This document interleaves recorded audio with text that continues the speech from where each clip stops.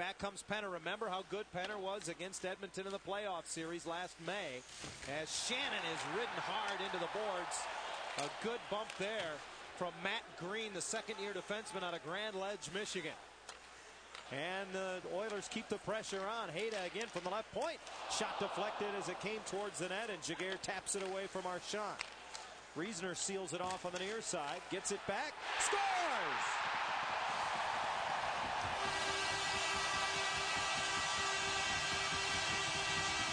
Thoresen throws it to center ice. Kunitz gloves it down and feeds it right back. Getzlaf across the line. Steams in. Wrist shot.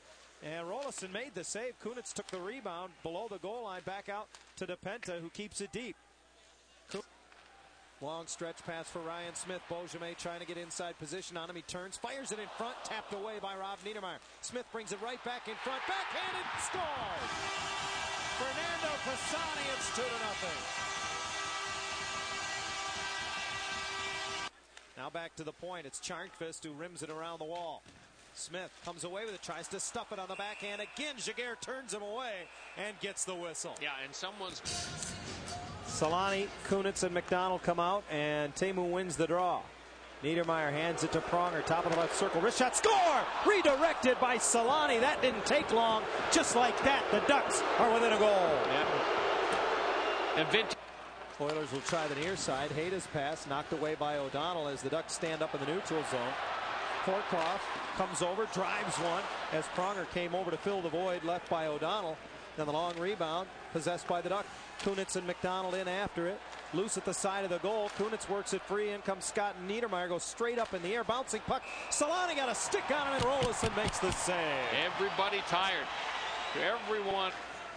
Now Pisani for Horcoff. He works from behind the net. Back to Schmid. Across to Stoll. Hammers the one-timer. Big rebound there for Ryan Smyth. Giguere makes both saves. Stretch pass up the left side and sent in deep by Marchant. Ducks get a change as Roloson plays it to the corner. McDonald kicks it back in front. Selanne got a stick on it. It's loose in front. Marchant curls it back. Score! Teemu Selanne was there. So was Kunitz. Kunitz has tied the game with 16.7 seconds to go. Ryan Smyth given a good bump by Kunitz. Able to keep his balance, but turns it over. Getzlaf right back into the zone. Ryan Getzlaf lets it go. He scored! Ryan Getzlaf wins it in overtime. And the Ducks steal two points in Edmonton tonight.